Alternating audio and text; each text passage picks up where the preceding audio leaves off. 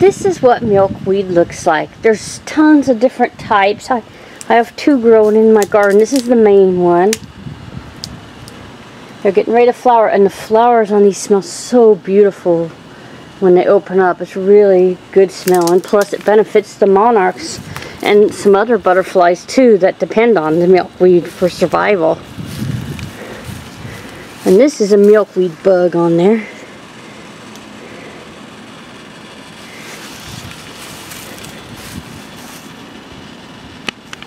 And here's another kind of milkweed. You can see the leaves look a lot different than the first kind.